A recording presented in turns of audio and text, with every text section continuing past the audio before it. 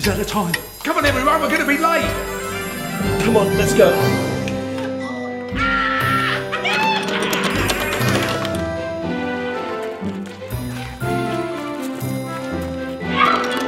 Panto returns to Milton Keynes Theatre this December. Cinderella playing from Saturday the 9th of December to Sunday the 14th of January. Wait for me! Book now at atgtickets.com slash Milton Keynes. The clock is ticking.